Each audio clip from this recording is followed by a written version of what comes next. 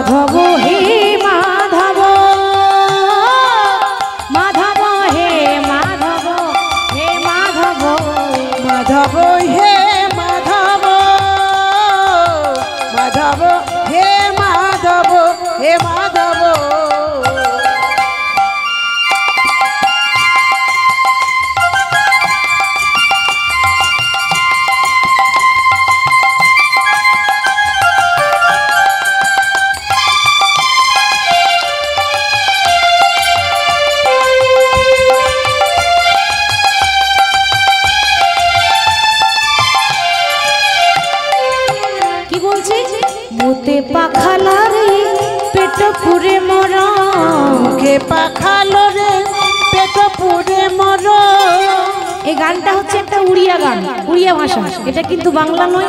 ভাষা কি বলছে দেখুন?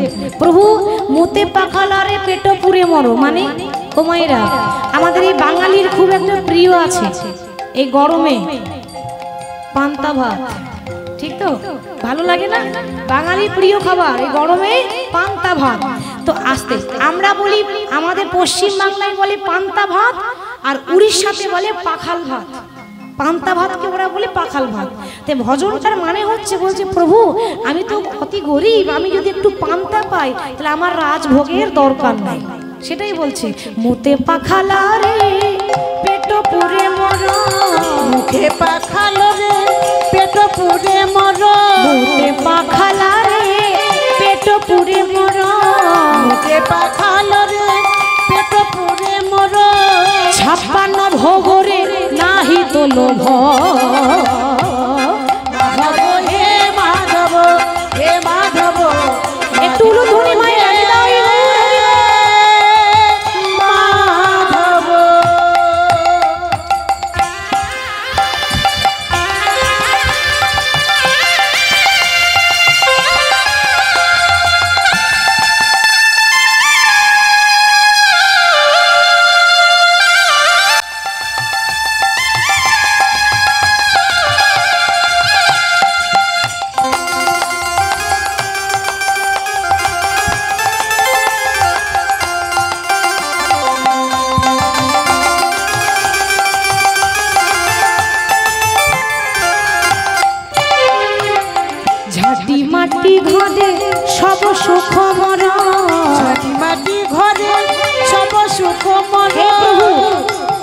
কাছে নিবেদন আমি যদি মাটির ঘর পাই তাতে সন্তুষ্ট আমার রাজমহলের দরকার নেই। সেটা উড়িয়া ভাষায় বলছে কি বলছে?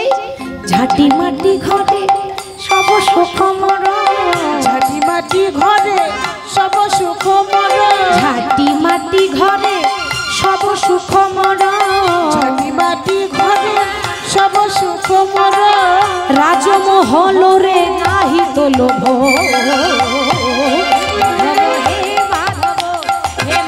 সকালবেলা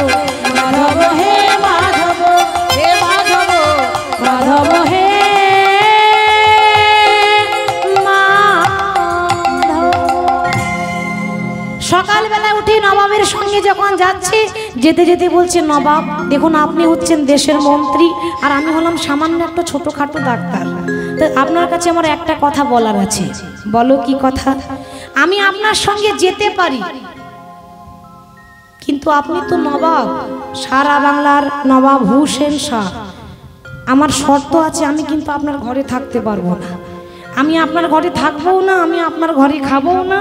আমাকে নিয়ে যেতে গেলে একটা তাল পাতার কুড়ে ঘর করে দিতে হবে। আমি সেখানে আলাদা করে আমার গোপীনাথকে নিয়ে যাব, ঠাকুর সেবা করব আর আমি সেখানে থাকব। নবাব বলছে, কবিরাজ, আমি হলাম এত বড় রাজা, এত বড় মন্ত্রী। সবাই আমার কাছে বলে, আমাকে একটা বাড়ি দাও, আমাকে একটা গাড়ি দাও। ইহজগতে যাবতীয় যা যা কিছু দরকার সবাই এটা চায়। আর তুমি এমন ভক্ত যে গাড়িও চাও না আর বাড়িও চাও না। বলছো, আমার তাল পাতার কুড়ে ঘর করে দাও। এ কেমন মানুষ রে বাবা? মুকুন্দ সরকার বলছে, নবাব, একটা কথা বলি শোনো। যখন গাড়ি, বাড়ি, টাকা, পয়সা সব কিছু পেয়ে যাব, যখন আনন্দে থেকে যাব না তখন ভগবানের কথা আমি ভুলে যাব। ঠিক তো বাবা? যখন আমার জীবনে অনেক সুখ হয়ে যাবে, তখন ভগবান কি মনে থাকবে? কে ভগবান? এখন ডিস্টার্ব করো না, এখন ভালো খাচ্ছি, ভালো পড়ছি, একদম বিরক্ত করবে না। আমাদের অহংকার হয়ে যায়। আর যত কাঁদবো, যত দুঃখে থাকব, যত না খেয়ে মরবো, তত ভগবানের কথা মনে পড়বে। ওই জন্য আনন্দ চাই না। আমি চাই যে প্রভু জীবনে যত দুঃখ আছে, জীবনে যত কষ্ট আছে, তুমি আমায় দিয়ে দাও। কিন্তু কোনোদিন আমায় ভুলে যেও না প্রভু। আর মনে রেখো, আমি যেন সারা জীবন তোমায় মনে রাখতে পারি। যারা ভক্ত হয় না মা এই জগতে যারা ভক্ত হয়, সত্যি কথা বলব, তারা কোনোদিন ভগবানের মন্দিরে গিয়ে টাকা পয়সা চায় না, গাড়ি বাড়ি চাই না। চাই কি মা? তারা কোনোদিন বলে না, প্রভু, গাড়ি দাও গাড়ি দাও। যারা সত্যি প্রকৃত ভক্ত হবে, তারা বলে, প্রভু, আশীর্বাদ করো, যেন ওই চরণে মতি থাকে। সারা জীবন শুধু এ জনমে নয়, প্রতি জনম জনম, প্রতি জনম জনম আমি যেন তোমার নাম করে আমি যেন কৃষ্ণ বলে। কৃষ্ণ বলে কাঁদিতে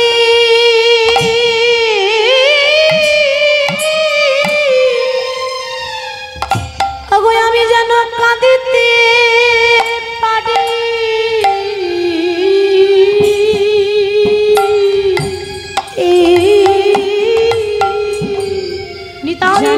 কৃষ্ণ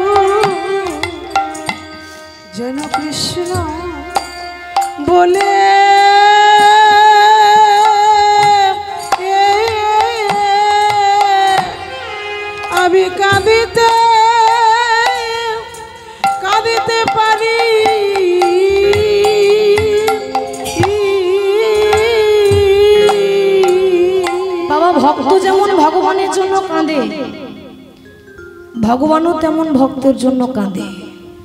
শুধু এটা নয় যে ভক্ত ভগবানের জন্য কাঁদে আর ভগবানের আনন্দ হয় তা নয়, ভগবানও কাঁদে। তার প্রমাণ আছে। কি প্রমাণ? তার প্রমাণ শাস্ত্রে দিয়েছে। একবার ভগবান কৃষ্ণ ব্যাসদেবকে প্রশ্ন করছে, ব্যাসদেব এই জগতে প্রত্যেকটা ভক্ত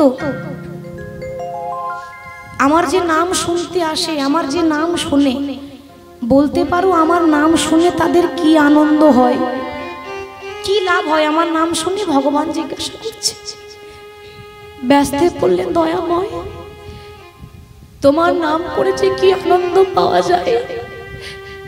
এটা তো তুমি কোনোদিনও বুঝবে না, দয়াময়। তোমার নাম করে যে কি আনন্দ পাওয়া যায়? একমাত্র তোমার ভক্ত ছাড়া কেউ বুঝবে না। তাহলে কি করতে হবে? যেদিন তুমি ভগবান হয়ে ভক্তের পায়ের ধুলোটা মাথায় মাখতে পারবে, সেদিন জানতে পারবে যে তোমার নাম করে ভক্তরা কি আনন্দ পায়। ভগবান চিন্তা করছে, বাবা, তাহলে আমাকে পায়ের ধুলো দেবে কে? হ্যাঁ দেবেন। আপনারা সবাই তো ভগবানকে ভালোবাসেন। তা ভগবান যদি আপনাদেরকে বলে, একটু পায়ের ধুলোটা দাও, কেউ দেবেন? দেবে না কেন? পাপ হবে তো। ভগবানের পায়ের ধুলো আমরা মাথায় মাখব তাই বলে কি আমাদের পায়ের ধুলো ভগবানকে দেবো? এ তো ঘোর অপরাধ। দেবে কে হঠাৎ একজনের কথা মনে পড়ে গেল যে চব্বিশ ঘণ্টা নারায়ণ নারায়ণ করে। সে কে মা? নারদ। নারদ তো বড় ভালোবাসে। আমি নারদের কাছে যাই। ভগবান যেই না নারদের কাছে গিয়ে বলছে, নারদ! নারদ বলল, প্রভু, এ কি? কোনো প্রয়োজন থাকলে তুমি তুমি আমাকে ডেকে নিতে পারতে, আমাকে বলতে পারতে, আমি তোমার কাছে চলে আসতাম। তুমি কেন কষ্ট করে এলে দয়াময়? ভগবান বললেন, নারদ, আসলে দরকারটা তো আমার পড়েছে। তাই আজ ভগবান হয়ে তোমার কাছে ছুটে। দেখো, ভগবান হয়ে তোমার কাছে ভিখারির মতো আঁচল পেতে দাঁড়িয়ে আছি। নারদ, আমি ভগবান হয়ে তোমার কাছে কিছু নিতে এসেছি। আমি যা চাইব তুমি আমায় দেবে। বাবার নারদ ভাবনা চিন্তা করল না। ভাবনা চিন্তা না করে বলে দিল, প্রভু, আরে আমার সবই তো তোমার। আমার বলতে তো কিছু রাখিনি। আরে তুমি যা চাই নিয়ে নাও না, আমার সবই তো তোমার। বলা সহজ, করা এত সহজ নয়। বলে দিল, আমার সবই তো তোমার। এবার ভগবান দেখছে তাহলে কতটা দিতে পারে দেখব। নারদ, আমি তোমার দেহ, মন, প্রাণ, জীবন, যৌবন কিচ্ছু লাগবে না, আমি ওসব নিতে আসিনি। আমি ওসব কিছু চাই না, নারদ, তোমার পায়ের তলাচে যে ধুলোটা আছে না, সেই পায়ের ধুলোটা তুমি দয়া করে আমার মস্তকে দিয়ে দাও। দয়াময়! তুমি কি পাগল হয়ে গেলে? এই বিশ্ব ব্রহ্মাণ্ডে এত এত দামি দামি জিনিস থাকতে তুমি আর কিছু পেলে না। তুমি আমার কাছে পায়ের ধুলো নিতে এসেছ? না না, প্রভু। আমি কিন্তু পারব না। কেন জানো? আমি দরকার পড়লে আমার জীবন দিয়ে দেবো তোমার জন্য, কিন্তু পায়ে ধুলো দিতে পারব না। কেন? কেন পারবে না? সারা জীবন ভগবানের কাছে হাত পেতে শুধু চেয়ে গেলে। আর বিনিময়ে ভগবানকে কিছু দিতে পারলে না? লজ্জার কথা কি জানি না? আমরা যখন মন্দিরে যাই, মন্দিরে গিয়ে ও মা, ভগবানকে কি বলি, প্রভু? আমার খোকা যেন বড় হয়ে চাকরি পায়, আমার মেয়েটা যেন ভালো পাত্র দেখে বিয়ে হয়ে যায়। প্রভু গো, আমার দুতলা বাড়িটা সামনে বছর চারতলা করে দিও। আমি কথা দিচ্ছি, তোমাকে পাঁচ কেজি বাতাসা দিয়ে যাব। কি গো বলি তো? আমাদের মতো ভক্ত আমরা তো এটাই বলব। সারা জীবন ভগবানের কাছে শুধু চাই। কিন্তু বিনিময়ে দিতে পারি? দু হাত ভরে দিতে পারি? দিতে পারি না। ওই মন্দিরে ধূপকাঠি চলছে দেখুন। মনে রাখবেন, ওই ধূপকাঠির যতক্ষণ সুগন্ধ থাকে ওমা ভালোবাসে সবাই তাকে। ঠিক তো? আর যখন ধূপকাঠির সেন্টটা শেষ হয়ে যায়, ওরে, ওই ধূপকাঠিটা পুড়ে গেছে, ওই কাঠিটা বের করে ফেলে দে। কেন? আর দাম নাই তো? এতক্ষণ দিল, বলে দাম ছিল। এটা বাস্তব কথা। আপনি যতদিন এ সংসারে দিতে পারবেন, আপনাকে সবাই ভালোবাসবে। আপনার পকেটটা যদি ফাঁকা হয়ে যায় আপনার কোনো বন্ধু আপনার কাছে আসবে না, আপনার পরিবার আপনার পাশে থাকবে দিলেই ভালো, আর না দিলে আপনি সবার কাছে ভারী হয়ে যাবেন, বোঝা হয়ে যাবেন। তখন বলবে, একবার মরে গেলে বাঁচি, নিজেও মরছে আমাদেরকেও মরছে। কেউ বলে না? তাহলে ভগবান বলছে যে ইহ জগৎ সবাই দিতে পারে, কিন্তু ভগবানের দরজায় গিয়ে কেউ দুহাত ভরে দিতে পারে না, শুধু চাইতেই পারে। তা সারা জীবন চেয়ে গেলে, আজ আমি চাইছি আমাকে তুমি দিতে পারলে না।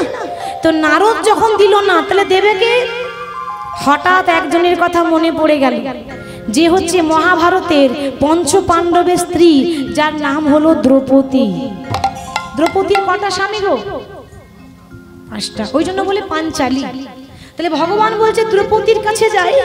আজকে ভগবান হয়ে যেই না গভীর রাত্রিবেলায় সবাই ঘুমাচ্ছে, সবাই ঘুমিয়ে পড়েছে দ্রৌপদীও ঘুমাচ্ছে বাবা। আর দ্রৌপদীর চরণ তলে দ্রৌপদীর পায়ের তলায় এসে ভগবান বসেছে। মনে মনে চিন্তা করছে, নারদের কাছে চাইলাম, নারদ তো দিল না। হ্যাঁ গো বাবা।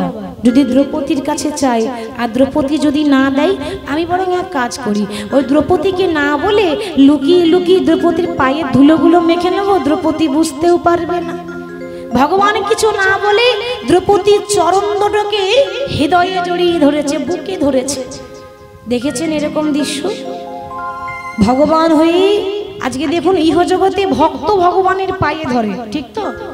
আজকে ভগবান ভক্তের পায়ে ধরে ভক্তের চরণ ধুলা কৃষ্ণ অঙ্গে মাখে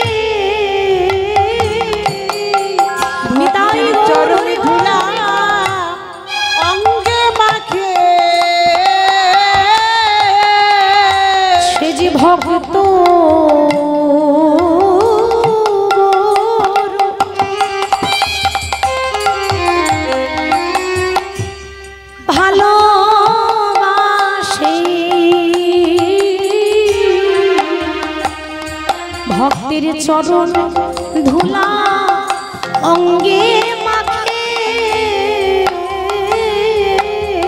সে যে ভক্ত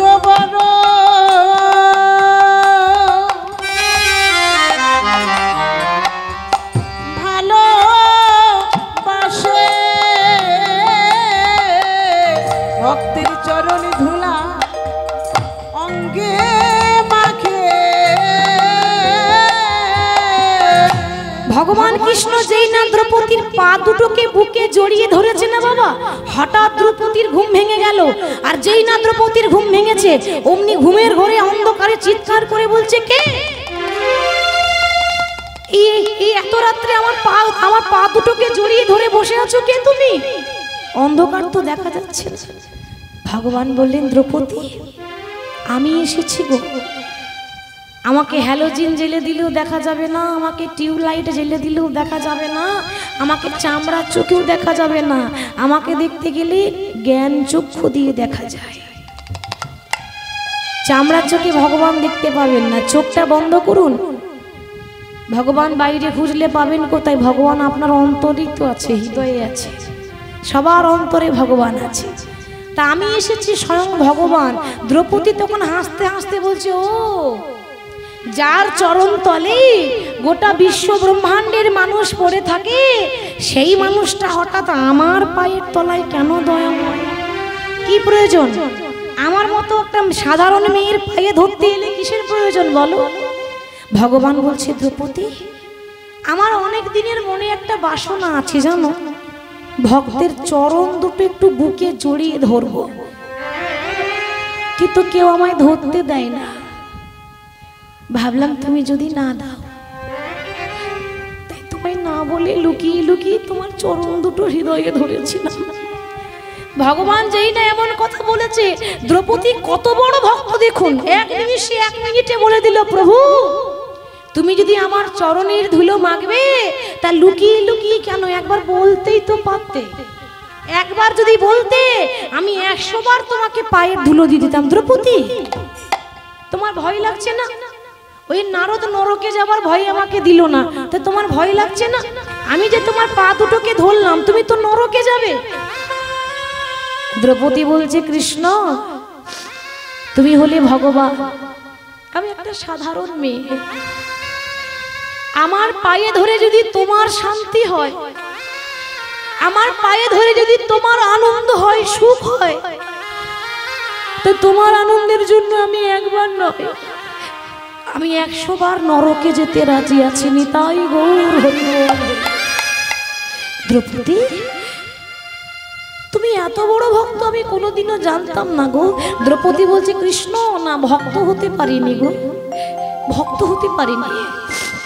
আসলে কি জানো তো, সেদিনের কথা মনে করে দেখো, যেদিন দুর্যোধনের সভায় দ্রৌপদীর বস্ত্রহরণ হয়েছিল, হয়নি বাবা? পাঁচটা স্বামী দাঁড়িয়ে দাঁড়িয়ে দেখছে, প্রতিবাদ করেছিল। করেনি কেন? তারা পাশা খেলা হেরে গেছে। পাশা খেলা, জুয়া খেলা এমন একটা খেলা। হেরে যদি যান, তো বিপক্ষে, বিপরীত পক্ষে যা বলবে আপনাকে তাই করতে হবে। ওই জন্য এসব খেলা মানে খুব খারাপ খেলা। পঞ্চ পাণ্ডব পাশা খেলায় হেরে গেছিল। তাদের স্ত্রীকে পর্যন্ত অপমান হতে হয়েছে, তবু কিছু করতে পারেনি, দাঁড়িয়ে দাঁড়িয়ে দেখছে। পাঁচজন স্বামী থাকতে প্রতিবাদ করল না। এত এত গুরুজন সামনে বসে আছে। এত এত গুরুজনের সামনে একটা নারীর মানহানি হলো। আর সেদিন সবাই দাঁড়িয়ে দাঁড়িয়ে দেখেছিল, কেউ প্রতিবাদ করেছিল। মনে করে দেখুন মহাভারতে, দ্রৌপদীর বস্ত্র হরণের দিনে কেউ বলেনি যে দুঃশাসন এটা করো না, একটা নারীকে অপমান করা মানে তোমার পাপ হবে, কেউ বলেছিল? কেন? তামাশা দেখছে তো, ভালো লাগছে দেখছে। ঘরের কুলবধূ, ঘরের বৌমার বস্ত্র হরণ হচ্ছে আর দাঁড়িয়ে দাঁড়িয়ে দেখছি। মহাভারত আমাদের অনেক শিক্ষা দেয় বাবা। দ্রৌপদী সেদিন বুঝে নিল, আহারে, আমার গুরুজন বসে থাকতে আমার আর সাহায্য কেউ করল না। আজ আমি বুঝতে পারলাম, ইহ জগতে আমার আপন বলতে কেউ নেই কৃষ্ণ ছাড়া। সেদিন যখন ডেকেছিলাম যে, হে বিপদ ভঞ্জন মধুসূদন, রক্ষা করো। সেদিন তুমি একটা নয় দুটো নয় শত শত বস্ত্র দিয়ে তুমি আমার লজ্জাটাকে নিবারণ করেছিলে। আর যেদিন এই দ্রৌপদীর লজ্জা নিবারণ করেছিলে সেই দিন থেকে আমি আমার দেহ মন প্রাণ জীবন যৌবন সবকিছু তোমাকে দিয়ে দিয়েছি। তাহলে বলতে পারো কৃষ্ণ সবই যদি তোমার হলো তাহলে চরণে দুটো কি? আমার বটে। গৌর হরি কৃষ্ণ চরণে দুটো কি? আমার বটে। চরণ দুটো কি? আমার বটে। আমার দেহ মন আমার।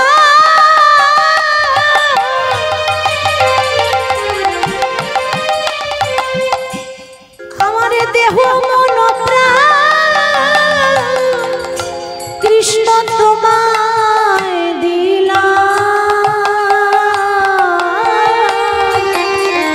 তবে চরণে দুটো কি? আমার বটে আমার দেহ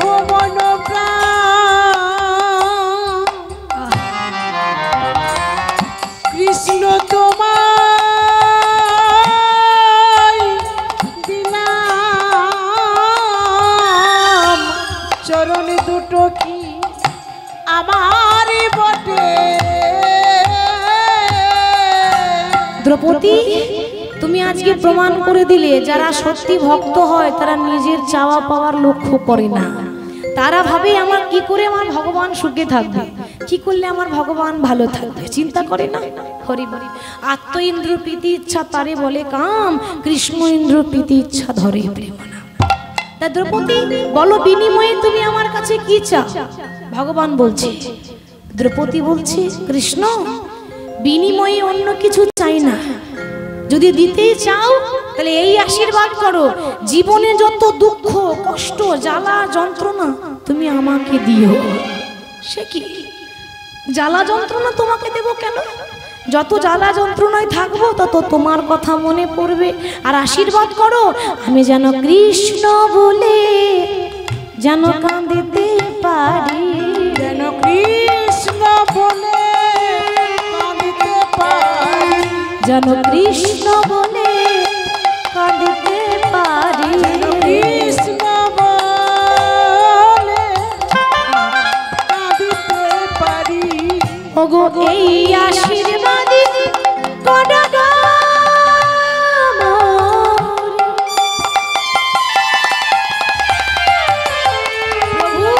যেন কৃষ্ণ বলে কাঁদিতে পারি।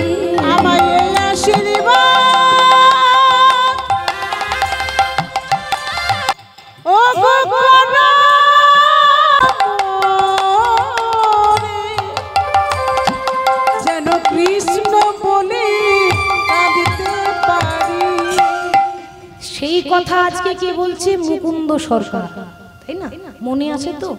মনে রাখবেন, কোথায় ছাড়ছি, কোথায় ধরছি? আর এগুলো তো উদাহরণ। লীলার মাঝে উদাহরণ মানে জীব শিক্ষার কথা। আমাদের শিক্ষার জন্য দিতে হয়। তাহলে মুকুন্দ সরকার বলছে, নবাব, আমি যেতে পারি আপনার সঙ্গে, কিন্তু ওই মহলে আপনার থাকব না, আর আপনার বাড়িতে আমি সেবাও করব না। কারণ আমি তো নিরামিষ খাই। আমি ওই তালপাতার কুড়ে ঘরে থেকে গোপীনাথের সেবা করে। আমি আমার জীবনটা কাটাতে চাই। বেশ, তাই হবে। চলো। এবার গিয়ে ওই মুকুন্দ সরকারের জন্য তাল পাতার কুঁড়ে ঘর করে দিয়েছে। নবাব থাকে মহলে, আর মুকুন্দ সরকার থাকে তালপাতার ঝুপড়ি ঘরে, কুঁড়ে ঘরে। এবার মা, অনেক দিন হয়েছে নবাবের সঙ্গে দেখা সাক্ষাৎ নবাব বলে কথা, দেশের মন্ত্রী, সে একটা নিজের কাজে ব্যস্ত থাকে। আর এদিকে মুকুন্দ সরকার তাকে যেহেতু নিয়ে এসেছে, সে ওই চিকিৎসা করে, গরিব মানুষের চিকিৎসা করে, আর এই গোপীনাথের সেবা করে। একদিন গোপীনাথের সেবা করতে করতে তার ভাবের উদয় হয়েছে। ভাবের উদয় মানে? অনেকে দেখবেন ওই কৃষ্ণের মূর্তির দিকে চেয়ে তাকিয়ে তাকিয়ে অনেকে কিন্তু জোর জোরে কাঁদে। কাঁদে না? তো যারা দেখে, যারা বোঝে না, তারা কি বলবে? লোকটা পাগল হয়ে গেছে। ওই দেখ, ভগবানকে দেখে কীরকম কাঁদছে। আবার অনেকে বলে, বাবা, কত বড় ভক্ত হয়েছে। কি গো বলে না? নিজে করবে না। আর আপনি যদি একটু ভগবানের জন্য কাঁদেন না আপনাকে দেখে ঠাট্টা করবে। সমাজটা এরকম। এদিকে কি হয় জানি না, আমাদের ওদিকে যদি কাউকে বলি, জয় নিতাই, তো তারা বলবে, তোমার নিতাই তোমার কাছে থাক, আমার দরকার নাই। তুমি তোমার কাছেই রাখো। মানে নিজে বলবে না, আর কাউকে বলতেও দেবে না। তাহলে আজকে মুকুন্দ সরকার ওই গোপীনাথের সেবা করছে, তুলসী পাতা দিচ্ছে আর অঝোর ঝরে কেঁদে ভগবানের রূপটা দর- মানে বর্ণনা করছে। মানে ভগবান কি সুন্দর দেখতে, পা থেকে মাথা পর্যন্ত রূপের বর্ণনা করছে। বলছে, প্রভু, তুমি এত সুন্দর দেখতে, এত সুন্দর শোভা, কি বলব? শোভার বর্ণনা যায়, এ শোভার বলিহারি যায়, এ শোভা বর্ণনা করা যাবে না। আর কেমন ভাবে রূপের বর্ণনা করছি? আমার কানু সে বিনোদ রাই গো কানু সে বিনোদ রায়।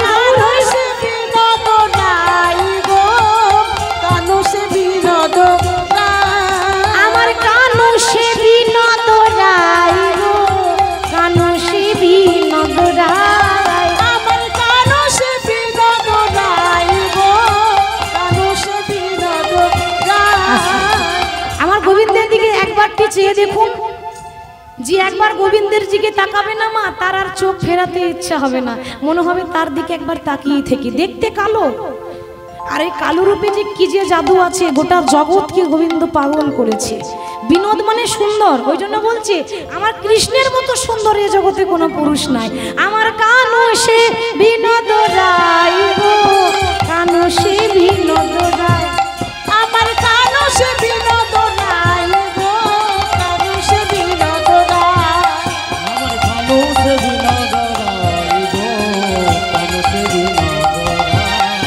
আর বিনোদ চিপুরে বিনোদ তার বিনোদ চিকুরে বিনোদ আর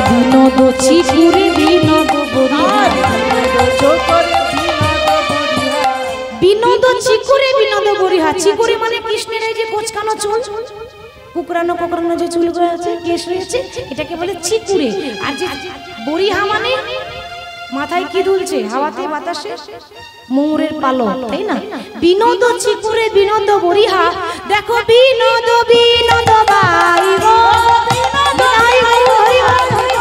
বিনোদ বিনোদ বাই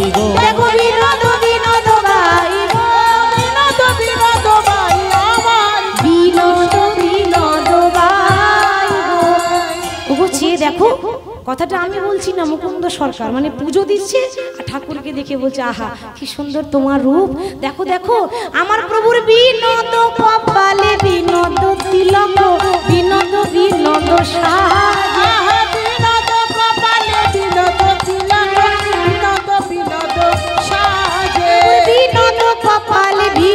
তিলক বিনোদ বিনোদ সাজে। বিনোদ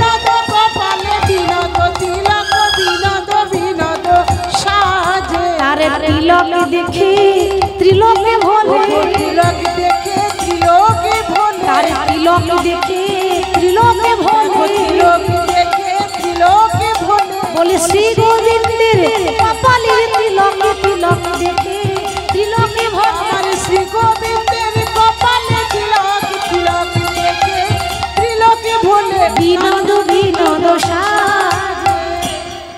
কৃষ্ণের যে তিলক আছে না, ওই তিলক দেখে ত্রিলোক ভুলে যায়। মানে স্বর্গমত্ত পাতাল ভুলে যায়।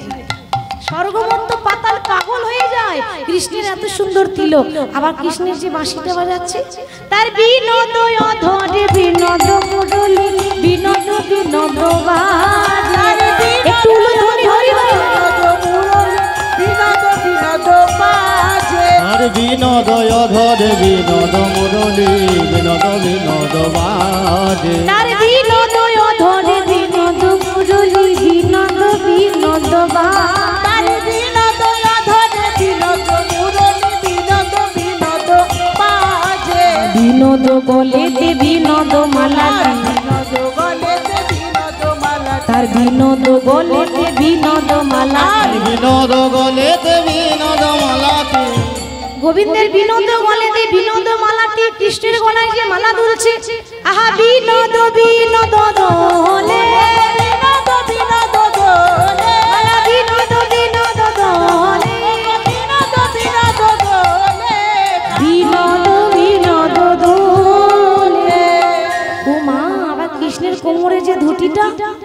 ধুতি পড়েছে আবার কি সুন্দর কোমরে বেঁধেছে দেখো? তার বিনোদ কোটিতে বিনোদ ধুতি বিনোদ বিনোদ সাহা তার বিনোদ কোটিতে বিনোদ ধরি বিনোদ বিনোদ সাজে। বিনোদ কোটিতে বিনোদ ধুতি বিনোদ বিনোদ সাহা তার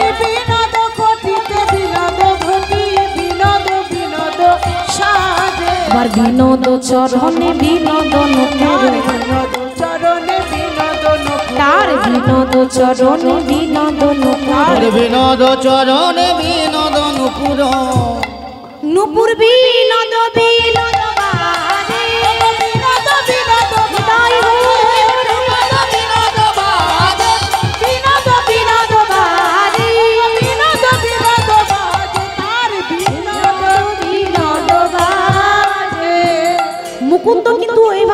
সেবা করছে আর গান গাইছে, প্রভুর রূপের বর্ণনা করছে।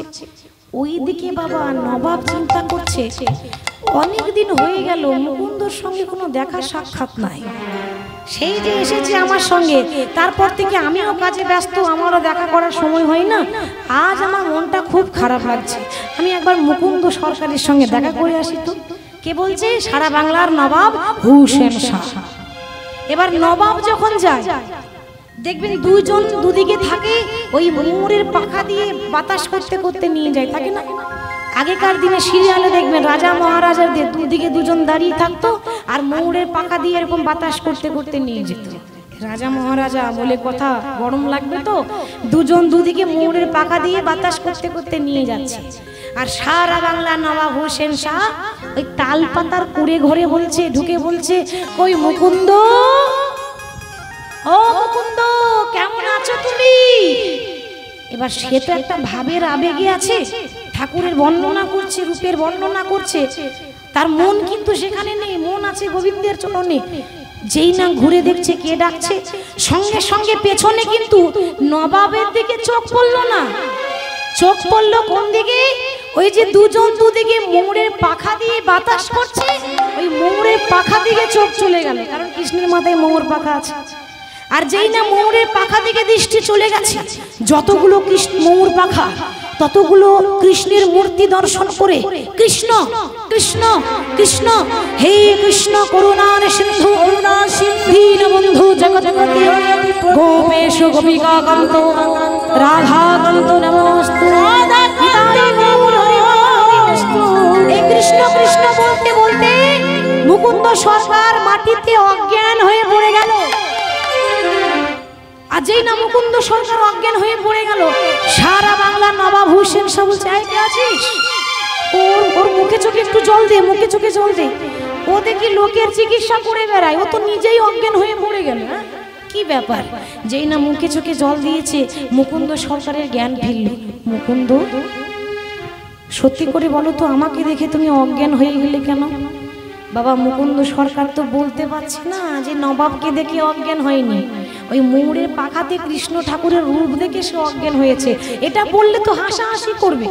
আপনি যদি বলেন যে আমি কালকে স্বপ্নতে আমার প্রভুকে দেখেছি, ও মা লোকে হাসবে না? বাবা। আমাদের আমাদেরকে দেখা দিচ্ছে না, ওদেরকে দেখা দিচ্ছে। হাসবে তো লোকে। কে বিশ্বাস করবে আজকালকার যুগে? আমি একটা কাজ করি। আমি ওই মুখ্য কারণটা না বলে, গৌণ কারণটা বলি। মানে সত্যিটা না বলে একটু ঘুরিয়ে ফিরিয়ে বলি। আসলে নবাব আসলে কি জানি তো, আমি আপনাকে দেখে অজ্ঞান হয়নি মানে কি বলব, আমি বলতে পারছি না। বলো বলো, এত লজ্জা কিসের? আমার কাছে বলো। আমি সারা বাংলার চিকিৎসা করি বটে। কিন্তু আমার নিজেরই একটা রোগ আছে। রোগ আছে? কি রোগ আছে? কি করি বলি আপনাকে? আসলে আমার না আমার না মির্গি রোগ আছে। না তুমি বোধহয় জানো না যে আমার রাজ্য থেকে আমার অন্যে প্রতিপালিত হয়ে যে মিথ্যা কথা বলে, আমি সঙ্গে সঙ্গে তার জীবন ছেদন করি। আমার কাছে দাঁড়িয়ে মিথ্যা কথা, এত বড় দেশের মন্ত্রীর কাছে দাঁড়িয়ে তুমি মিথ্যা কথা বলছো? তুমি একদিন আমাকে প্রাণে বাঁচিয়েছিলে বলে আজ আমি তোমাকে ছেড়ে দিলাম। না, সঙ্গে সঙ্গে তোমার জিভটা আমি কেটে ফেলতাম মুকুন্দ, মিথ্যাটা তুমি অন্য কারও কাছে বলবে আমার কাছে নয়। আমি নবাব হতে পারি, কিন্তু আমিও কিছু বুঝি। মির্গি রোগী যদি হবে, তো ওইরকম কৃষ্ণ কৃষ্ণ বলে অজ্ঞান হয়ে গেলে কেন? মির্গি রোগে তো এমন হয় না। কি গো হয়? মির্গি রোগী কৃষ্ণ বলে অজ্ঞান হয়? আর মির্গি রোগী যদি তোমার হবে, তা তুমি কাঁদছো কেন? তোমার চোখ দিয়ে ঝরঝর করে জল পড়ছে কেন? নবাব, আমি মিথ্যা কথা বলেছি, আমার ভুল হয়ে গেছে। না না না। ভুল তোমার হয়নি, ভুল আমার হয়েছে। কি ভুল জানো? তোমার মতো একটা কৃষ্ণ ভক্তকে আমি আমার কেনা চাকর মনে করেছিলাম। ভেবেছিলাম, রাজা তো, পয়সা দিয়ে সবাইকে কিনে রেখে দেব। ভুল! ভুলে গেছিলাম যে সবাইকে বেঁধে রাখা যায়, কিন্তু কৃষ্ণ ভক্তকে চাকরের মতো কোনোদিন ঘরে পয়সা দিয়ে বেঁধে রাখা যায় না। ভুল তোমার নয়, ভুল আমার হয়েছে। যাও। আজ থেকে তোমাকে মুক্ত করে দিলাম। তুমি তোমার গ্রামে ফিরে যাও আর কোনোদিন যেন খাবারের অভাব তোমার না পড়ে। যার জন্য আমি সারা বাংলার নবাব হুসেন শাহ, ওই শ্রীখণ্ড গ্রাম আমি তোমার নামে লিখে দিলাম। বাবা, গোটা গ্রামটা ওই মুকুন্দর নামে লিখে দিল। তারই তো জায়গা, তারই তো জমি, সবাই বাস করছে। সে দেশের রাজা বলে কথা। তো ওই গোটা গ্রামটা তোমার নামে লিখে দিলাম, যাও। আজ থেকে শিবাস হরি বল আজ থেকে মুকুন্দ, ওই শ্রীখণ্ড গ্রামটা আজ থেকে তোমার নামে করলাম। তুমি এবার ফিরে যাও। আনন্দের সীমা নেই। মা আনন্দের সীমা নেই কেন? মনে হচ্ছে এতক্ষণ, এতক্ষণে কারাগারে বন্দি ছিলাম। এবার মুক্ত পেলাম। কেন সেই মানুষটা তো ভাগবত পাঠ করে গরিবের চিকিৎসা করে। আর এতদিন নবাবের কাছে থেকে সেই মনে মনে হচ্ছিল কারাগারে বন্দি হয়েছিল। নবাবের কাছ থেকে অনুমতি নিয়ে সে নিজের গ্রামে ফিরে যাচ্ছে, শ্রীখণ্ড গ্রামে ফিরে যাচ্ছে। প্রভুর নাম করতে করতে, প্রভুর নাম গাইতে গাইতে বদনে ভরে গাউরে মন। হরে কৃষ্ণ নাম, হরে কৃষ্ণ নামে জপ জপ অবিরাম। নিতাই গৌর হরি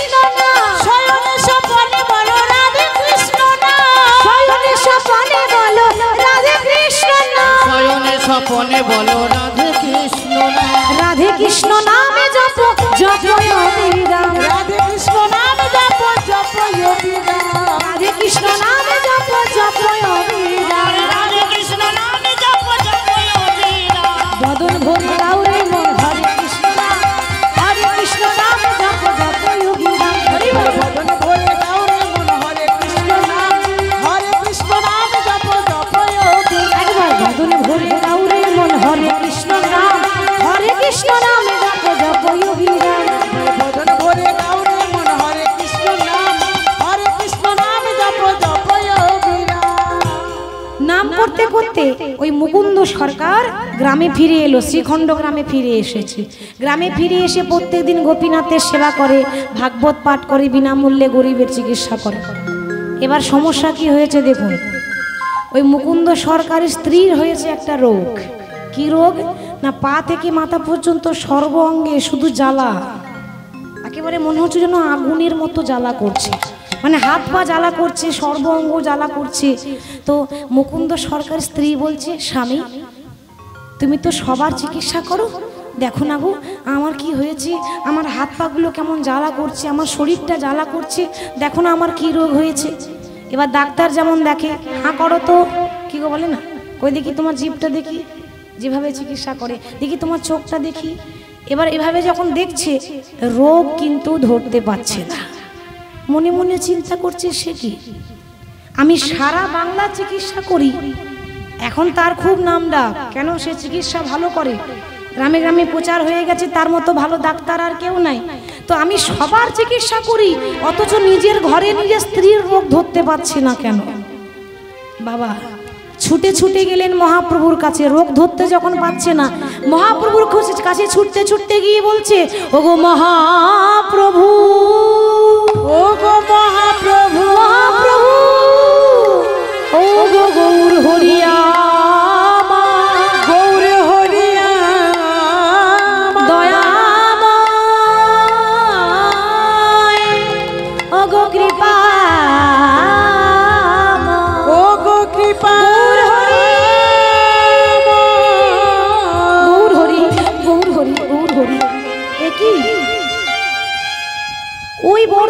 জেলা শ্রীখণ্ড গ্রাম থেকে তুমি নবদ্বীপ ছুটে এসেছ, কি হয়েছে? বাড়িতে সব কুশল তো? প্রভু, আমি সারা বাংলার চিকিৎসা করি, কিন্তু আমি আমার স্ত্রীর রোগ ধরতে পারছি না কেন? মহাপ্রভু হাসছে, আর হাসতে হাসতে বলছে, মুকুন্দ, যা ভেবেছিলাম তাই হয়েছে। সবার চিকিৎসা করো বলে, ভালো চিকিৎসা করো বলে তোমার মনে একটু অহংকার হয়েছে। তোমার মনে অহংকার কেন? আমার মতো ভালো ডাক্তার আর কেউ নেই। আমার আমার নাম কত? সবাই আমার কাছে চিকিৎসা করায়। আমার কত নাম হয়েছে? আমি একটা বড় ডাক্তার। যখন তুমি ছোট ছিলে, তোমার অহংকার ছিল না। যখন অহংকারটা মনে এসেছে, নামটা হয়ে গেছে, তখন তোমার মনে একটু অহংকার হয়েছে। আর জানো না, ভগবান সব সইতে পারে, কারোর অহংকার সহ্য করতে পারে না। আর তোমার অহংকারের ফল তোমার স্ত্রীকে ভুগতে হচ্ছে। শোনো, চিন্তা করো না। আমি তোমাকে ওষুধ দিচ্ছি। মহাপ্রভু একটা পান চিবিয়ে, অর্ধেকটা চিবিয়ে দিয়েছে। মানে পুরাপুরি চিবাইনি পানটা অর্ধেকটা চিবিয়ে হাতে দিয়েছে। শোনো, এই আমার এই চিবানো পানটা তুমি তোমার স্ত্রীকে খাইয়ে দেবে। এই চিবানো পান খেলে তোমার স্ত্রীর রোগ ভালো হয়ে যাবে। ভগবানের চিবানো পান। যেই না ছুটতে ছুটতে এসে ঘরে এসেছে, কই গো ঘর নেই ওই হাঁ করো হাঁ করো ওষুধ এনেছি। আর যেই না হাঁ করেছে, অমনি মহাপ্রভু চিবানো খান, পান খাইয়ে দিয়েছে। ওমার রোগ তো ভালোই হলো। সারা শরীরের জ্বালা কমে গেল, রোগ তো ভালোই হলো। তার সঙ্গে একটা ভালো লক্ষণও দেখা গেল। কি? রোগ ভালো হয়ে গেল? তার সঙ্গে স্বামী জানতে পারল, তার স্ত্রী হয়েছে গর্ভবতী। সন্তান সম্ভব হয়।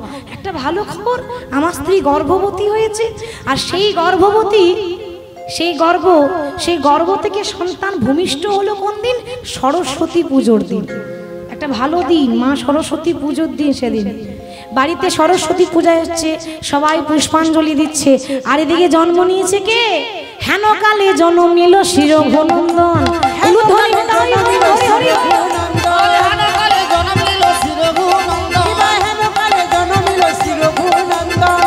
কালে জনমিল শির ভনন্দ কালে জনমিল শির কালে জনমিল শির আবার পুত্রের মদন হেরি আনন্দ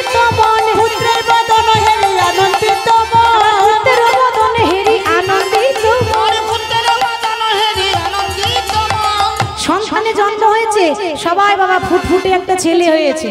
বলছে ও কবিরাজ ঠাকুর আপনি পুজো করছেন? দেখুন আপনার কি সুন্দর একটা ছেলে হয়েছে। আহারে মায়ের পুজোর দিনে আমার ছেলে হয়েছে। ছেলেকে কোলে করে নিয়ে বলছে ও মা ও মা। আশীর্বাদ করো মা আশীর্বাদ করো মা। আশীর্বাদ করো মা। আশীর্বাদ করো দেবী বিনা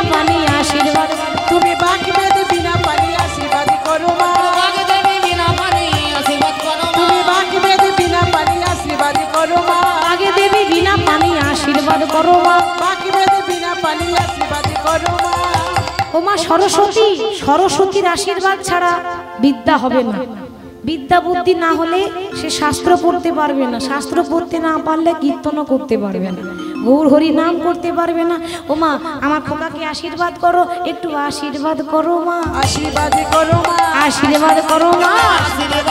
যেন ভাগবত পড়তে পারে আশীর্বাদ করো মা। একটু গৌর হরি। করো মা করতে পারে যেন কৃষ্ণ কথা বলতে পারে আশীর্বাদ করো যেন কৃষ্ণ কথা বলতে পারে আশীর্বাদ করো। ওগো সরস্বতীর শ্রীচরণে কইল সমর্পণ। সরস্বতী শ্রীচরণে করিল সমর্পণ। হরি বল এই যে রঘুনন্দনের জন্ম হয়েছে রঘুনন্দনটাকে এই রঘুনন্দন হচ্ছে স্বয়ং কামদেব। আমাদের প্রত্যেকটা মানুষের শরীরে যে ছটা রিপু আছে না কাম ক্রোধ লোভ মোহ মদ মাৎসর্য সবারই উপরে যে কাম রিপু আছে সেই কামের দেবতা হলো কামদেব। এই কামদেবের মনে অহংকার ছিল যে কৃষ্ণ তুমি কত বড় ভগবান হয়েছে একটু আমিও দেখব। কেন? না যে ভগবান হবে সে কি আর ওই মাঠে ঘাটে গরু চড়াবে? চিনতে পারল না ভগবানকে সবাই চিনতে পারে না। কেন ভগবান গরু চড়াচ্ছে তো? তো কামদেব বলছে ছি ছি, যে ভগবান হবে সে গরু চড়ায়। আরে যে ভগবান হবে, সে সকাদের এঁটো খায়, এ ভগবান হতে পারে না। আর এই রাসলীলার দিনে কামদেব ঢুকেছিল কৃষ্ণর হৃদয়ে কামের বান ছুড়ব বলে। সেদিন কিন্তু কৃষ্ণের কাছে হেরে গেছিল, আর কৃষ্ণ আশীর্বাদ করেছিল, এর পরজন্মে তুমি আমার ভক্ত হবে, তুমি আমার নাম করে উদ্ধার হতে পারবে। তা সেই কামদেব, যার আরেক নাম হচ্ছে অনঙ্গ, সেই ব্রজের অনঙ্গ ধরিয়া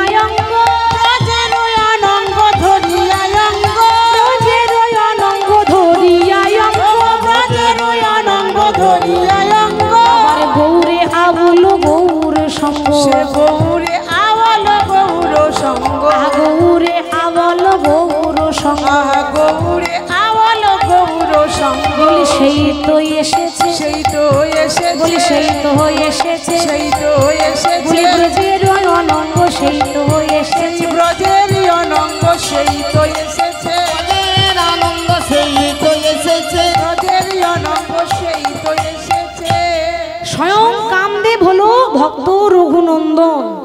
রঘুনন্দনের জন্ম হলো। পুত্রের বদন হেরে পিতার আনন্দ ধরছে না। আস্তে আস্তে বড় হচ্ছে। যখন রঘুনন্দন পাঁচ বছর বয়স হল, তখন পাড়ার ছোট ছোট ছেলেদের সঙ্গে খেলা খেলছে। কোন খেলা? কোন খেলা গো? খেলা অনেক রকম আছে। কিন্তু সর্বশ্রেষ্ঠ খেলা কি? হরিনামের খেলা। আমরা খেলতে এসেছি। এটা হলো খেলার মাঠ। আমরা হলাম সব খেলোয়াড়। আর আজকে আমরা এসেছি হরিনামের খেলা খেলতে। তো কেমন ভাবে খেলছে? হরি বলো রে, হরি বলো রে, একবার বলো রে বলো রে, হরি বলো রে। হরি বলো রে, হরি রে, বলো রে বলো রে, হরি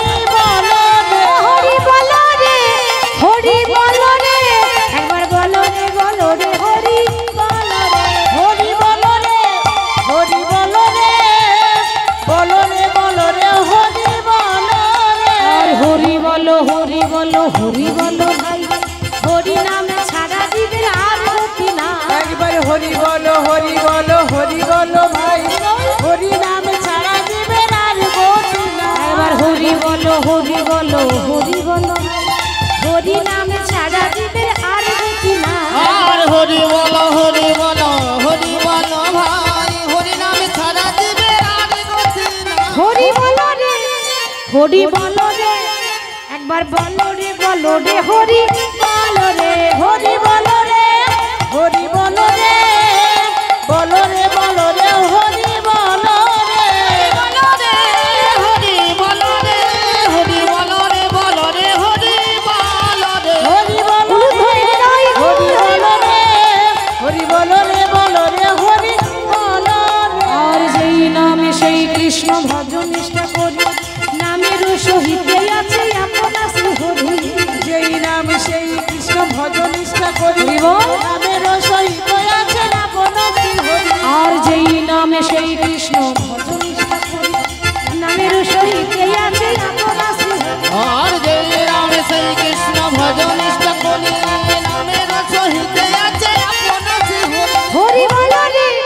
হরি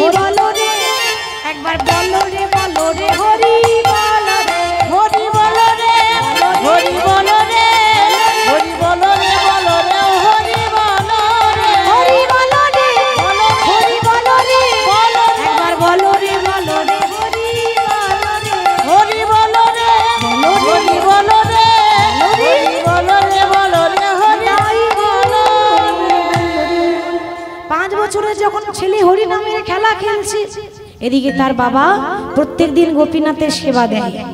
আজকে মুকুন্দ সরকার ঘরে ঠাকুর ঘরে গোপীনাথের চরণে একটা চরণে তুলসী পাতা দিয়েছে আর আর একটা চরণে তুলসী পাতা দিতে যাবে উনি পাশের গ্রামের থেকে একটা ছেলে এসে বলছে, কবিরাজ ঠাকুর কবিরাজ ঠাকুর, আপনি আপনি শিগগিরই চলুন, নাহলে আমার বাবাকে বাঁচানো যাবে না। আমার আমার বাবার শরীর খুব খারাপ। এখন এই মুকুন্দ সরকার কি করবে বাবা? এখনও ঠাকুর সেবাটা পুরোপুরি হয়নি। সবে তো একটা চরণে তুলসী পাতা দিয়েছে। আর ওদিকে একজন ডাকতে এসেছে। তাহলে এখন আপনারা বলুন, তার কর্তব্যটা কি? ঠাকুর সেবা করা না মানুষের সেবা করা? আপনারা বলবেন, কেন এখন ঠাকুরের সেবাটা হলো না? পুজোটা শেষ হলো না। পুজোটা পরে হবে। কিন্তু মানুষটা চলে গেলে আর ফিরে আসবে না, বাবা। তাহলে একটা ডাক্তারের কাছে এটাই কর্তব্য। সে দেখছে আমাকে আগে মানুষের জীবনটা বাঁচাতে হবে। ওর বাবার শরীর খুব খারাপ। আমি না গেলেই মারাই যাবে হয়তো। তাহলে কি করব? পুজোটা তো অসম্পূর্ণ করে যাওয়া যায় না। আচ্ছা বলছিলাম কি, আজকের পুজোটা রঘুকে দিলে হয় না? সবে তো পাঁচ বছরের ছোট ছেলে। একবার রঘুকে ডেকে দেখি, বাবা রঘু রঘু রে! বাবা, কি হয়েছে? তুমি আমায় ডেকেছো? হ্যাঁ হ্যাঁ তোকে ডেকেছি। বলি এই ছেলে ছেলেটাকে দেখতে পাচ্ছিস না? ওর বাবার শরীর খুব খারাপ। আমি না গেলে ওর বাবা সুস্থ হবে না খোকা। তো আমি বলছিলাম কি, আজকে, আজকের পুজোটা যদি তুই করে দিতিস বাবা, কি বলছো তুমি? আমি তো মন্ত্র জানি না। কি বললি? আর একবার বল, মন্তর। আর একবার বল, মন্তর। আর একবার বল, মন্তর। হরি বল ছোট ছেলেকে জিজ্ঞাসা করছে, মন তোর মন তোর মন্তর মন্তর খোকা, একটা কথা মনে রাখিস, যদি মন তোর শুদ্ধ থাকে, তাহলে কি বা হবে? এই শুদ্ধ তাই শুদ্ধ মন্ত্র ওরে থাকে যদি শুদ্ধ মন তোর, ওরে কিবা হবে? শুদ্ধ মন্ত্র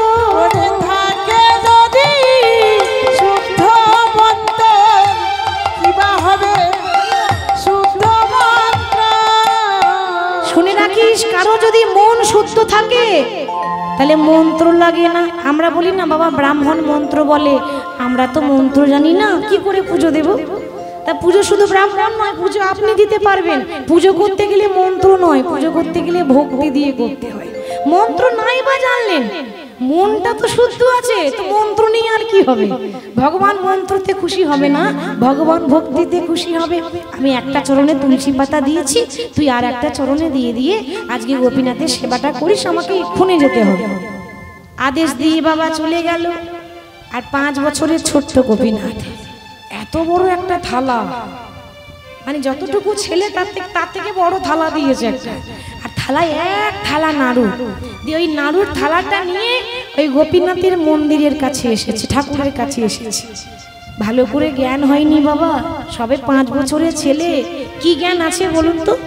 পাঁচ বছরের ছেলে কোনো জ্ঞান আছে? ঠিক বেঠিক, ভালো মন্দ কিছু জানে না।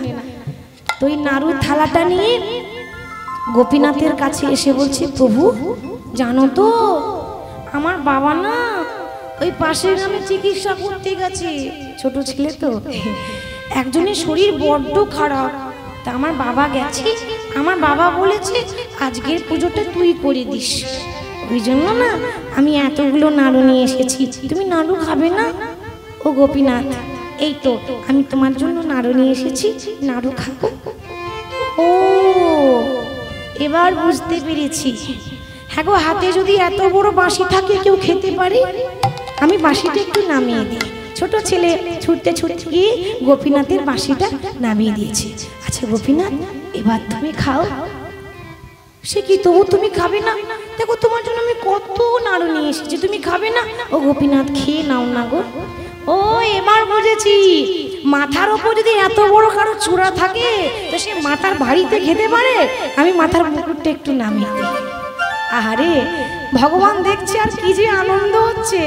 মনে মনে চিন্তা করছে, ওর বাবা এতদিন পুজো করেছে, এত সুন্দরভাবে আমাকে ডাকেনি। ছুটে গিয়ে ঠাকুরের মুকুটটা নামিয়েছে। প্রভু, এবার তুমি খাও। আমি কত আনন্দে, কত স্বাদ করে তোমার জন্য এনেছি। তবুও তুমি খাবে না? ও, বুঝতে পেরেছি। ওই দরজাটা খোলা আছে তো, তাই তোমার খেতে লজ্জা করছে, তাই না? আমি দরজাটা বন্ধ করে দেবো। তুমি একটু দাঁড়াও, ছুটতে ছুটতে গিয়ে বন্ধ করে দিলাম। এবার তুমি খাও। তবু তো আমি খাবে না। ও, আগে বলবে তো, এইবার আমি বুঝেছি। আমার বাবা তোমাকে সাজাতে সাজাতে অর্ধেকটা সাজিয়ে চলে গেছে তো, ওই জন্য তুমি রাগ করে বসে আছো, ঠিক না? হুম, তবে আমি তোমাকে সাজাবো, তবে বাবার মতো সাজাতে পারব না। আহা, মনটা কত সরল দেখো। দেখবেন বাবা, শিশুদের মন খুব সরল হয়, তাই না? মনে কোনো প্যাঁচ থাকে না। তো সে সাজাচ্ছে। সাজাতে তো জানে না। ও যেমন পাচ্ছে তেমন ফুল দিয়ে সাজাচ্ছে। প্রভু, আমি বাবার মতো সাজাতে পারব না। তবু আমি যেমন পারব, তেমন সাজাবো। প্রভু, আমি সাজাবো। তোমারে আজি মহান সাজতে শুধুই আশা ছিল। বড়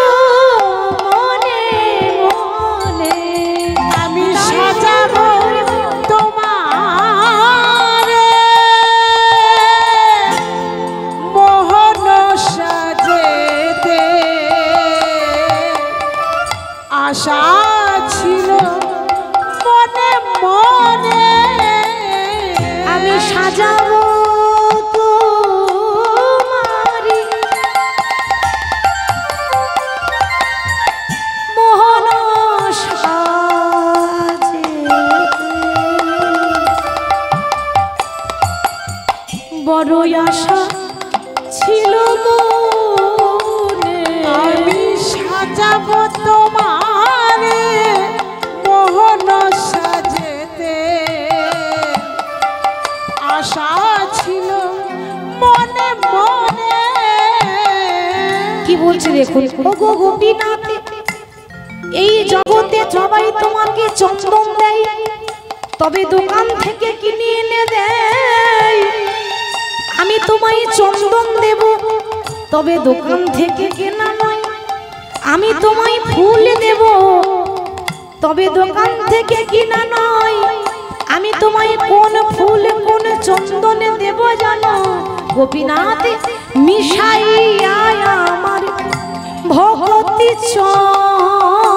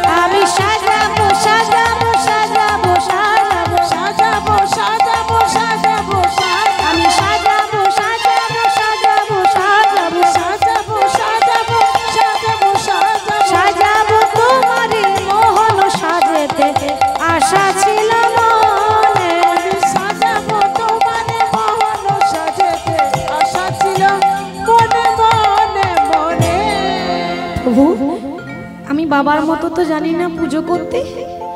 আমার বাবার মতো আমি সাজাতেও পারি না। তবে আমি যেমন সাজিয়ে, তুমি যেমন সাজে সেজে থেকো প্রভু। নিজ গুণে কৃপা করে, দয়া করে আমি যে নাড়ুগুলো নিয়ে এসেছি, এই নাড়ুগুলো তুমি সেবা করে নাও। ও এত করে ডাকছি তবু তুমি আসবে না। তোমার জন্য খেতে অসুবিধা না হয়, তোমার বাসি খুলে দিলাম। তোমার চূড়া নামিয়ে দিলাম, দরজাটা বন্ধ করে দিলাম, তোমাকে আমি আমার মতো করে সাজিয়ে দিলাম। তবু তুমি সেবা করবে না? বেশ। সেবা যখন তুমি আমার হাতে করবে না, তোমার ওই চরণে মাথাটা ঠুকতে ঠুকতে আমি আমার জীবনটা এখানেই ত্যাগ করে দেব। পাঁচ বছরের ছেলে, না আছে কোনো জ্ঞান, না আছে কোনো ভক্তি। ওই গোপীনাথের চরণে মাথা ঠুকছে, গোপীনাথ গোপীনাথ। যখন মাথা ঠুকছে বাবা, ওইটুকু ছেলে মাথা ঠুকেছে, মাথা ফেটে রক্ততে মন্দিরটা ভেসে যাচ্ছে। গোপীনাথ মনে মনে ভাবছি, আহারে, এ জগতে আমাকে মন্ত্রতন্ত্র দিয়ে সবাই ডাকে। কিন্তু ওর মতো চোখের জলে কেঁদে কেঁদে আমায় কেউ ডাকে না। আর যদি না যায় ছেলেটা তো মারা যাবে। আর যদি ছেলেটা মারা যায়, লোকে আমাকে বলবে, ভক্তির ভগবান কেউ বলবে? বলে, তুমি ভগবানের নামে কলঙ্ক। তোমার জন্য এক ভক্ত মরে গেল, তুমি কীরকম ভগবান? লোকে তো আমাকে দোষ দেবে, কলঙ্ক দেবে। গোপীনাথ থাকতে না পেরে পাথরের মূর্তি, পাথরের ঠাকুর গোপীনাথ হাতটা বাড়িয়ে দিয়ে বলছে, ওরে রঘুনন্দন নারুদে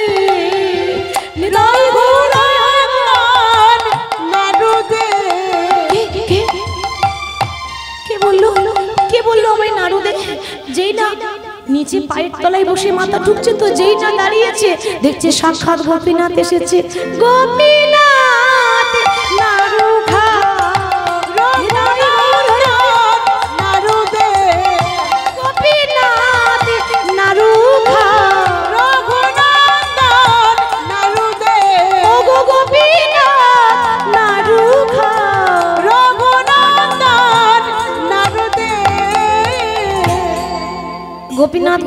নাড়ু খাও, আর গোপীনাথ বলছে নাড়ু দে।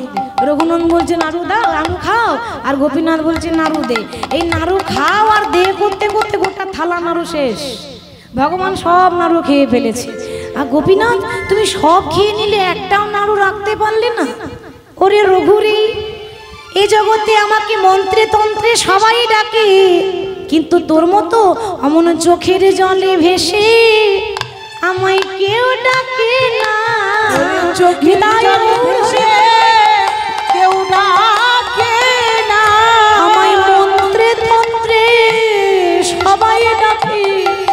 তোর মতো চোখের জলে ভেসে কেউ ডাকে আমায় মন্ত্রে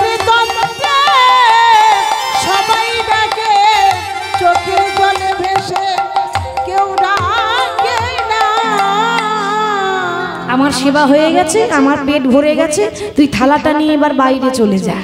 ছোট্ট ছেলে, এত বড় খালি থালাটা নিয়ে মাকে বলছে, মা, ও মা, জানো তো, আজকে না গোপীনাথ সব নাড়ু খেয়ে ফেলেছে হ্যাঁ? কি বললি? আরেকবার বল। সত্যি বলছি, গোপীনাথ আজকে সব নাড়ু খেয়ে ফেলেছে। হে ভগবান, সারা জীবন বিনামূল্যে আমার স্বামী লোকের চিকিৎসা করল। হরিনাম করল, গোপীনাথের সেবা করল, মানুষের এত উপকার করল, আর তুমি তাকে একটা সন্তান দিয়েছ, একটা মিথ্যাবাদী ছেলে? পাঁচ বছর বয়সে মিথ্যা কথা বলে বলে কিনা ঠাকুর নাড়ু খেয়েছে? এ কথা বলতে বলতে সে সময় বাবা তার বাবা চলে এসেছে, চিকিৎসা করে। চিকিৎসা করে বাবা যখন শুনতে পেল সব ঘটনা, মুকুন্দ মনে মনে চিন্তা করছে, প্রভু গো সবে মাত্র আমাকে সন্তান দিয়েছ, তাও কুসন্তান, সুসন্তান দাও নেই প্রভু আমার পুণ্যের ফল শেষে মাত্র একটা মিথ্যাবাদী সন্তান দিলে? মনে মনে চিন্তা করছে যে না, পাঁচ বছরের ছেলে তো মিথ্যা জানে না। কি বাবা জানে? একটা ছোট ছেলে কি করে জানবে যে কোনটা মিথ্যা, কোনটা সত্যি? দেখবেন মনে যা আছে পরিষ্কার বলে দিল। অত ঘোর প্যাচ নেই, জানে না সে। তাহলে আমার ছেলে যখন বলছে যে গোপীনাথ নাড়ু খেয়েছে, তা আমাকে একবার পরীক্ষা করতে দেখতে হবে যে নারু গোপীনাথ খায় না নারু আমার ছেলে খায়। মানে কে চোর? আমি এবার ধরবো, নিজের হাতে ধরবো। কি করেছে? পরের দিন আবার ওই রঘুকে বলেছে, বাবা, ওই কাল যেমন পুজো করেছিলিস, যা, আজকেও একটা থালাতে নাড়ু নিয়ে গিয়ে গোপীনাথের সেবা করে আয়। গোপীনাথের সেবা করে আয় যেই না বলেছে ছোট্ট রঘুনন্দন, থালার মধ্যে নাড়ু নিয়ে গিয়ে গোপীনাথের চরণ তলে বসেছে আর দরজার আড়ালে দাঁড়িয়ে আছে মুকুন্দ সরকার। দেখি, আজকে হাতে নাতে ধরবো, ওই নাড়ু ভগবান খায় না নাড়ু আমার ছেলে খায়? কে চোর আজকে ধরা পড়বে? দরজার আড়ালে দাঁড়িয়ে আছে, লুকিয়ে লুকিয়ে দেখছে। দেখি আমার ছেলে কি করে। আর ছোট রঘুনন্দন বলছে, প্রভু, কালকে যেমন নাড়ু খেয়েছিলে, আজকেও আমি কষ্ট করে নাড়ু নিয়ে এসেছি। ও গো গোপীনাথ, নাড়ু খাও।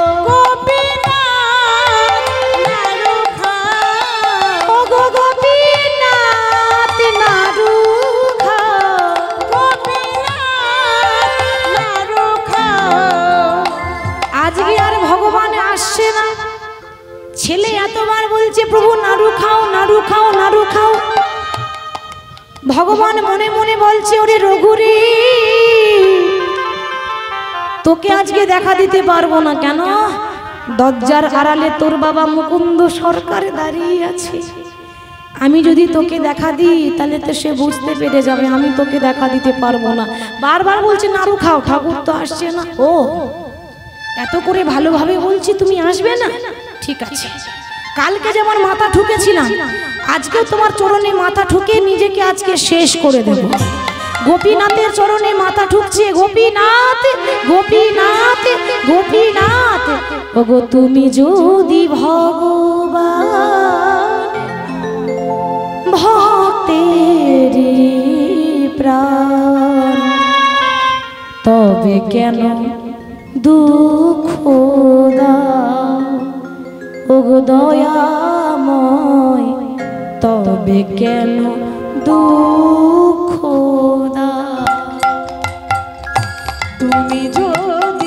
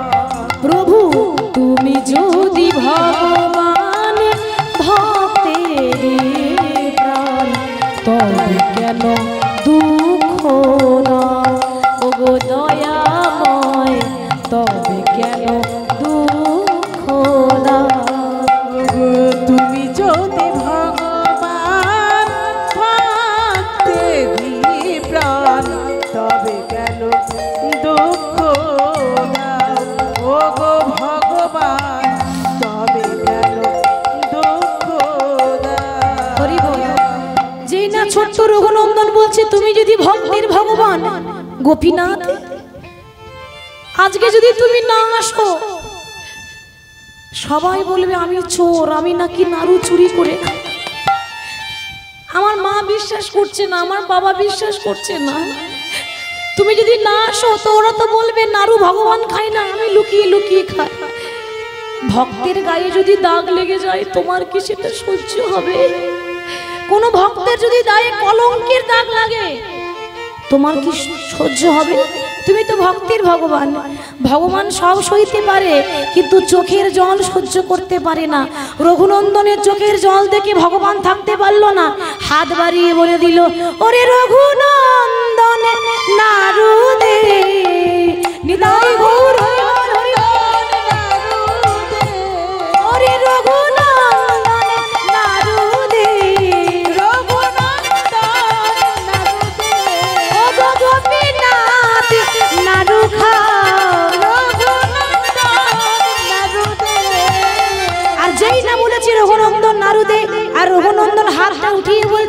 খাও। সঙ্গে সঙ্গে দরজার আড়ালে দাঁড়িয়েছিল মুকুন্দ সরকার। কে?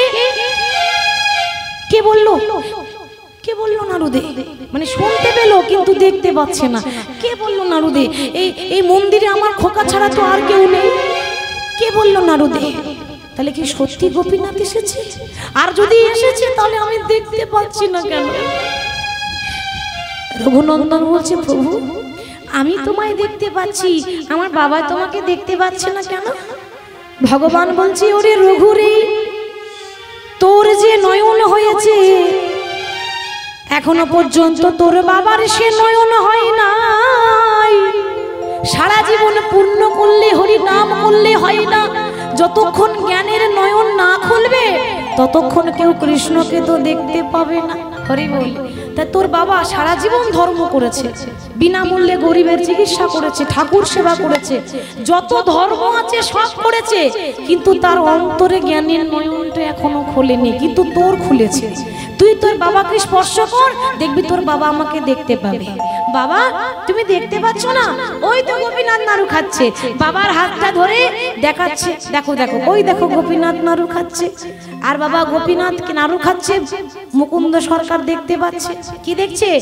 অদ্যাপি শিখণ্ডপুরে অর্ধনাড়ু আছে করে অদ্যাপি শিখণ্ডপুরে অর্ধনাড়ু আছে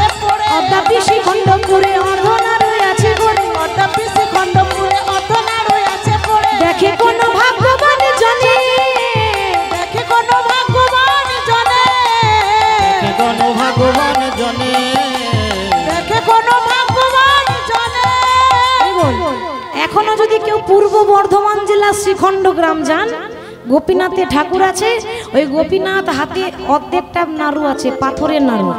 এখনও আছে, দেখতে পারেন, পাথরের নাড়ু আছে, অর্ধেকটা খেয়েছে আর অর্ধেকটা হাতে আছে। একদম প্রত্যক্ষ প্রমাণ, সেটাই তারা দেখছে, অদ্যাপি শ্রীখণ্ডপুরে অর্ধ নাড়ু আছে করে অদ্যাপি শ্রীখণ্ডপুরে অর্ধ নাড়ু আছে করে দেখে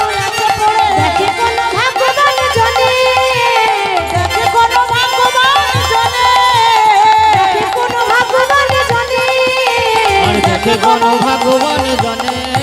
তাদের আনন্দের আর সীমা নাই। আনন্দের আর সীমা নাই। আনন্দের আর সীমা নাই। আনন্দের আর সীমা নাই। গোপীনাথকে দর্শন করে আনন্দের আর সীমা নাই। গোপীনাথকে দর্শন করে আনন্দের আর সীমা নাই। গোপীনাথকে দর্শন করে আনন্দের আর সীমা নাই। গোপীনাথকে দর্শন করে আনন্দের সীমানা আজকে মুকুন্দ সরকার আর তার ছেলে রঘুনন্দন বাবা আর ছেলে ভগবানের রূপ দর্শন করছে। আজকে বড়ই আনন্দ, ভক্ত ভগবানকে দর্শন করছে। আনন্দে নব ঘন হেরি সুন্দর নয়ন তোমার চরণে শরণ নিলাম, প্রভু ধন্য